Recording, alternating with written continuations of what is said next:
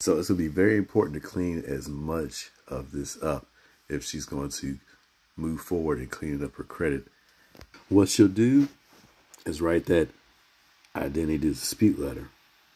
She'll use our created dispute letter tool to put her correct, her most current information up, um, along with the rest of her personal information like date of birth, social, phone number, the correct employer. She'll make sure that she has her current ID identification that matches whatever she puts in the dispute letter. So uh, the address and other personal information must match uh, this what's on this identity dispute letter. And she's going to send it to TransUnion in this example.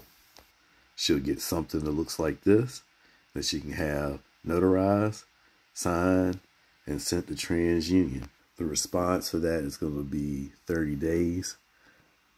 And hopefully she can get uh, all or at least most of that incorrect personal information removed from her credit report, especially the Oakland, California address, because I believe that is where the mismatches in social security numbers are coming from. It's coming from that address. So if she can get that address removed, she can get the fraudulent information off of her credit report, and then she can successfully dispute any bad debts that's on the credit report moving forward.